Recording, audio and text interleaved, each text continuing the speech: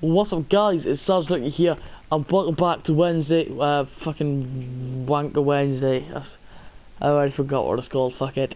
But, um, today's Wanker of the Week is Rucka Rucka Ali. Well, to be honest, I've heard plenty of his songs before, um, oh actually no, I've heard about six of his songs, and to be honest, they're incredibly what racist, as clearly said at the bottom of this.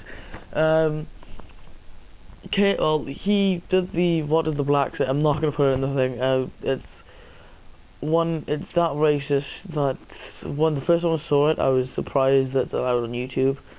Because one, he's white, and the amount of times says the M word it's just just not right.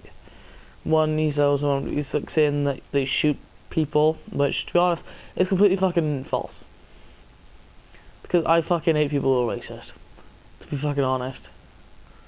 But um, this shit happened with KSI when KSI had watched the video and reacted to it on his channel, and Rucka Rucka made another video back, uh, reacting to his video saying it, and then after that, to be honest, fucking KSI has destroyed Rucka with a rap back to him, and then shit happened between those two, and yeah.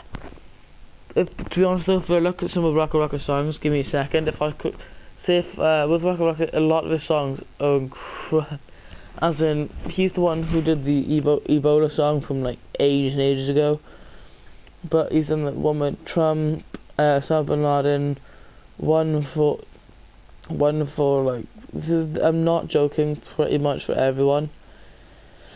And it just, it's just like, why and why are they so racist? Because one he says even on the one that he does it for attention. So it's kind of just in general it's just racist.